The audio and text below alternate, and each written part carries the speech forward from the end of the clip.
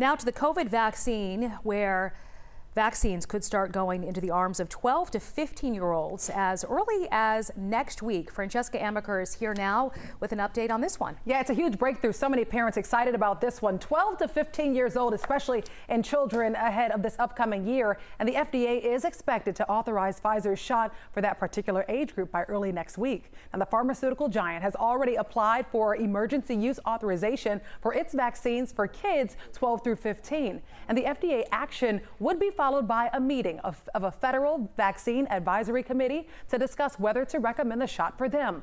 Then the Atlanta based CDC would act on the committee's recommendation, marking another milestone in Pfizer's vaccine rollout. Now, at the end of March, the company said a clinical trial involving more than 2,200 12 to 15 year olds showed the vaccine's efficacy to be 100%.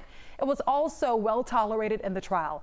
The vaccine is currently authorized here in the U.S. for emergency use in people 16 and older.